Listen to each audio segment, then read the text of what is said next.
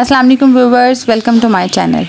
आज हमारे किचन में बन रही है रेड बीन सैलेड। इसके लिए हमें जो इंग्रेडिएंट्स ज़रूरत हैं, दो अदद प्याज ले ली हैं, छोटी, दो लेमन, वन टोमेटो, दो हरी मिर्चें और एक ककम्बर ले लिया इसके अलावा लोबिया, लाल लोबिया बॉईल करके रख लिया था मैंने, सफ़ेद चने बॉईल कर लिए हैं और मैक्रोनी एल्बो जो है वो बॉईल कर लिया बाकी सैलड की जितनी चीज़ें हैं, वो सब हमने कटिंग करके रख ली हैं। इन चीज़ों को बॉईल करने के बाद मैंने इसमें थोड़ा थोड़ा ऑयल ऐड कर दिया था ताकि चीज़ें आपस में चिपके नहीं।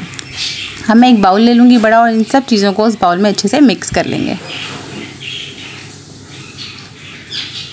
आपने ऑयल ऐड किया हुआ है, इसलिए ये सब चीज़ें अलग अलग और शाइनी रहेंगी, बहुत अच्छा इफ़ेक्ट देती हैं एक आपकी सैलड में ये सब चीज़ें।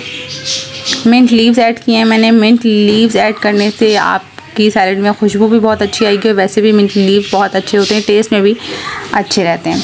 हाफ़ टी स्पून जो है सॉल्ट ऐड करेंगे half teaspoon black pepper add करेंगे हम इसके अंदर।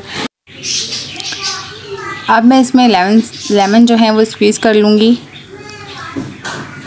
दो अदर लेमन लिए थे मैंने। आप अगर चाहें तो इसके अंदर सॉसेजेस वगैरह ऑलिव ऑयल और कुछ भी ऐड कर सकते हैं ऑरिगेनो लीव्स लेकिन क्योंकि मैंने सिंपल सैलड बनाई है, इसलिए मैंने अभी फ़िलहाल जो है इसमें कुछ भी ऐड नहीं किया है। मैंने सिर्फ़ यही चीज़ें ऐड की हैं जो मैंने आपको बताई हैं। अब हम अच्छे तरीके से इसको मिक्स कर लेंगे।